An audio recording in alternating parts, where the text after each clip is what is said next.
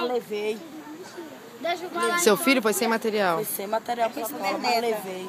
Foi e voltou sem material. Porque tudo que tinha na casa de vocês não deu nem tempo de vocês pegarem. a única coisa que eu tirei dentro da minha casa foi meus documentos e a carreira na mão do meu filho. A única coisa que eu tirei, o resto dos vídeos dele, tá, se você ver o tamanho dele, ele é um garoto de 10 anos, ele tá com um shortinho bem curtinho. Porque ele é o único sorte que eu arrumei pra dar pra ele, ele tá sem roupa. Não deu tempo de você Não deu pegar. tempo de tirar nada, filho, nada, nada, nada. O que, que você deixou dentro da sua casa que você mais sente falta? Ai, cara, minhas coisas que eu conquistei com tanto suor, com tanto sacrifício. É muito dolorido. Eu lá deixei tudo. Cama do meu filho, cômodo, minha cama, deixei tudo, tudo, tudo, tudo. A única coisa que eu tirei só foi meu documento e ele. E daqui pra frente, o que, que você pensa? Ai, eu nem sei mais o que pensar, cara, porque o mundo que nós vivemos hoje está muito difícil. Hoje você acorda de um jeito e amanhã você não sabe nem como é que você vai acordar amanhã. É como nós, a gente acordou no- numa cama e hoje eu acordo, eu dormi numa cama e hoje eu acordo no chão. Então é muito difícil. E o que, que vocês precisam mais hoje? Você falasse assim, ó, tivesse um pedido, o que, que vocês mais precisam? Qual a principal necessidade de vocês aqui? A casa da gente. A casa da gente é a principal. É o teto, a privacidade da gente.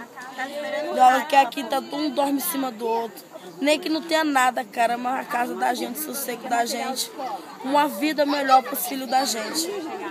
Porque o meu filho tá traumatizado. Muito traumatizado. A gente fala com ele, ele pode ver um carro que ele já tá com medo. Então, eu espero que o próximo ano seja um ano melhor para as crianças. Porque se eles carregar isso tudo pro presente, eu nem sei o que, que vai ser das crianças de hoje. E você, como que você se sente? Cara, olha, eu não vou nem falar porque esse cara tá chorar aqui. Eu sinto arrasado, A tô minha neta tá arrasado. doente, ela só fala assim, mãe, mãe, o Pinheirinho, mãe, mãe. Ela fica na casa da minha irmã. Sim, eu levei ela no psicólogo hoje. A senhora conseguiu pegar alguma coisa da sua casa? Não deu tempo? Nada, nada. Então o computador que eu tinha tirado pra ela, o pai dela pagou pra ela. Eu tava esperando o rato, queimou tudo. Eu, eu achei ele lá tudo queimado assim. Tudo, eu não tirei nada, eu tava, eu tava Ei, trabalhando. menino, saliente. Eu tava trabalhando no buffet, eu tava no estado de Minas. Você conhece o buffet gourmet? Eu trabalho nele. Todo final de semana eu saio. Fazer que eu não durmo aqui final de semana. Tem, na semana eles me chamam. Quando eu cheguei, quando eu cheguei, tava tudo derrubado, tudo queimado. Tudo derrubado, tudo queimado.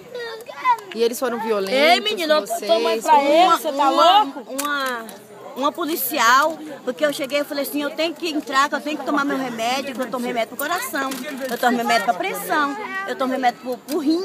Aí ela pegou e falou assim com gracinha pro meu lado, você não, você não quer levar, o-" porque eu falei, eu posso até morrer por causa disso. Ei, menino. O que, que é isso? É falta de educação. É, vocês estão fazendo até errado. Aí ela pegou e falou assim pra mim, Onde que é pra ver você não quer levar esse Depois eu vou cachorrinho? fazer vocês, eu vou filmar vocês. Você não Nossa, quer levar esse cachorrinho que tá na rua aqui não que ele pode até morrer. falou que depois vai viver pra falar com você. Do... Ele pode até morrer. Eu falei, senhora, se eu tivesse pra onde eu ia, se eu levava era tudo. Aí ela falou assim, se morrer não faz falta, já tá invadindo coisa dos outros mesmo? Eu falei assim, você, você pode morrer. Eu, eu não vou falar, não vou responder você uma palavra, porque eu sei que sua mãe te educou pra ser gente, mas você começa só com bandido, você tá virando bandido igual esse. Porque É muito tenho- revoltante, né? então, eu falei porque eu tenho cunhado policial, eu tenho cunhado coronel, eu tenho primo coronel, e tudo fuma maconha e tudo Vocês são usa muito droga. mais educados, sabia? Todos eles usam droga, por isso que eles enfrentam assim. Porque todos Você eles não, usam eles. droga, porque eu tenho parente que usa droga, é tudo corrupto. Eles pegam, feias. eles pegam os meninos no- lá no Guarujá com roubo bom, eles, eles não prendem. Quando É só com, quando não pega com nada. Manda a mãe eles. A senhora imaginava que isso ia acontecer um dia? Quando vocês. Quanto Gente. tempo vocês moravam lá? oito anos que meu Gente, filho, a quando eu gente nunca passou pela cabeça da gente que isso ia acontecer. Eu tenho o vídeo, eu tenho o vídeo da tropa de choque entrando dentro da minha, dentro da lada na rua. A tropa de choque apontando a arma pra gente. Cara, não precisava. Por que, que eles Uma falaram que foi uma ocupação pacífica? Não foi uma ocupação Uma bala de pacífica. borracha passou, passou assim, ó, no colapo da minha perna. Aí eu peguei e falei assim pra ela, eu tenho cunhado policial, eu tenho cunhado coronel lá no Guarujá, é tudo bandido, tudo corrupto. Falei pra ela, e você também é um. Porque se você fosse uma pessoa do bem, você não vinha derrubar as casas de criança. Eu, pelo menos, das minhas netas eu já tirei. Porque quando eu saía para trabalhar, eu já deixava na casa da minha irmã. Mas mesmo assim, quando ela chegou lá, que, viu, que não viu o computador dela, ela tá, ela tá entrada de choque. Eu levei ela hoje no psicólogo. E o psicólogo falou que ela não está bem. E como que vocês estão tra sendo tratadas agora aqui? A comida não é tão legal. Nós já foi lá reclamar. Que a hormona, eu sou cozinheira, que eu cozinho no comer. A hormona tava azul. Tava azul a carne da hormona. Eu sou cozinheira. Sei muito bem quando a comida é boa, quando não é.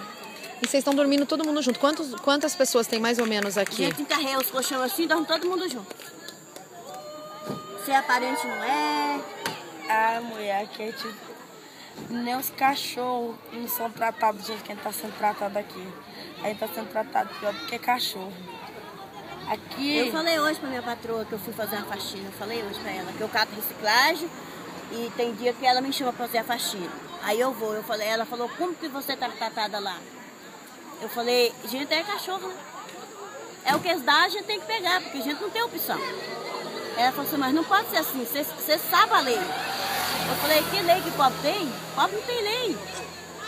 Ela falou, tem sim, vocês é ser humano igual nós. Eu falei, pobre não tem lei, pra eles é cachorro. Procure nação cachorro, porque não é impossível. Só porque deu uma coberta que quando a gente levanta, a lã tá tudo no cabelo, ele pensa que está sendo tratado bem. Os colchão não são maus. Vocês tinham a casa de vocês, né? Sim, vocês a tinham a minha vida casa. de vocês. A minha casa, a minha casa era três quartos, sala, cozinha e dois banheiros. Porque tem meu filho que mora com a minha nora, então eu já fiz um banheiro separado para eles. A cozinha que era tudo junto. E de lá, gente. Qual que é o sonho da senhora? A senhora consegue ainda sonhar? O meu sonho é ter minha casa. Minha casa para me cuidar da minha neta. Meu filho morreu lá dentro. Meu sonho é cuidar da minha neta. O que, que aconteceu lá dentro? Meu filho morreu lá dentro. Ele teve um, ele teve um, um cansaço, cansaço, e ele morreu lá dentro, Pinheirinho. Mas não por causa da invasão. Não, não foi por causa da invasão, não. Ele pegou um serviço e estava tomando muita chuva. E ele já tem problema de, de cansaço. E ele não queria parar, né? Eu falei, mas Fabinho, você está trabalhando na chuva? Sai. Ele falou, não, mãe, eu tenho que cuidar das minhas filhas. E ele morreu, só que ele estava com, com quatro dias tinha entrado no serviço. Eu fui atrás e ele falou que não, não ia coisar, não. Porque ele já tinha bronquite. Aí eu tô cuidando das três, né?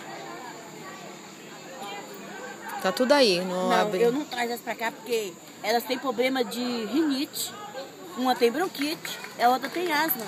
E vocês estão aceitando É que o pai que eles já. estão oferecendo pra vocês? A gente não aceita, a gente, a O gente que, que eles estão? O que, que eles oferecem? praticamente nada. Mas não é 500 reais? É mil reais, pessoas já 500 pegou, da peguei, mudança conseguindo- e 500 do aluguel. Por mês eles prometeram fazer isso até quando pra vocês? Por mês vai ser só 500 reais. É. Mas a gente não sabe como é que vai ser. Por quanto tempo eles pagariam esses Eles 500 estão reais? prometendo pagar até eles darem a casa da gente. Mas quem vai confiar no Cury? Quem vai confiar no prefeito? Eu tô caçando casa, eu não acho casa de 500 reais. Não tem casa de 500 reais, gente. Não tem. Dois cômodos, dois cômodos que eu achei com banheiro. É 550 reais. Eu tô que nem uma louca procurando, porque eu tenho que pegar minha neta. E a senhora- a senhora- vocês querem aceitar esse valor ou o que, que vocês queriam reivindicar? Eu queria A mesmo casa da gente, cara. A casa Mas a casa de gente. vocês já estão nos... Mas pelo menos no terreno, ele queria que a gente começasse do zero. Mas era da gente. Casa de aluguel nunca é da gente. Um dia a gente vai ter que Problema. devolver pro dono, não tem? Pessoa que tem muito filho, eles não querem alugar. Já perguntou logo pra mim. Eu falei, eu tenho três netos. Eles não querem aceitar. Arrumar, arrumei. Mas às vezes não quer aceitar. Crianças não querem aceitar. Agora, que situação?